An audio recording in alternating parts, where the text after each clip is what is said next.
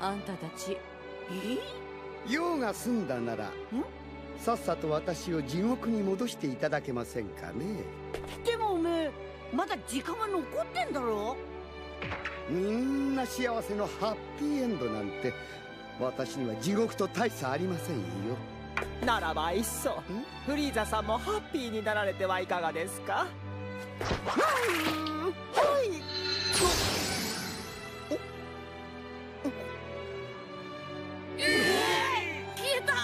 生き返ったってことかビルス様からのプレゼントです。最後はなかなかのファインプレーだったとのことですよ。いいんですか？私は悪事をやめるつもりはありませんよ。そん時はオラが倒すさ